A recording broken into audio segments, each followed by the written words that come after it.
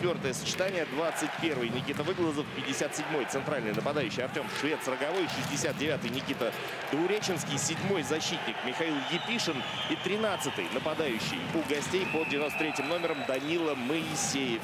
Валерий Белов, главный тренер Витязя. И вот уже потасовка затевается на лицевом борту.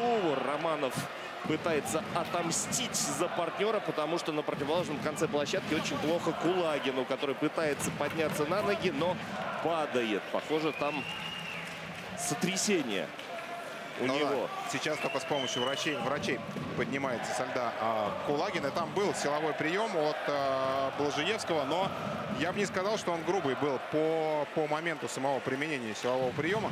Досталось, безусловно, безусловно, Кулагину в этом а, эпизоде, но не столько от, вот нам показывают, но не столько от силового приема Блажиевского, сколько от а, столкновения с а, бортом, со стеклом с а, защитным. Так не, не видно было, что может быть и, и в спину, да, но там Кулагин сам разворачивался на движении. И самое главное, Положиевский не подпрыгивал, да, никаким образом не пытался ухудшить этот, этот силовой прием. На самом, деле, на, самом деле просто продолжил двигаться по а, выбранной траектории. Ну и достаточно жестко, но э, жесткий в хоккее, в принципе, вещь, э, вещь вполне обыденная. Нам показывают Артема Болжиевского.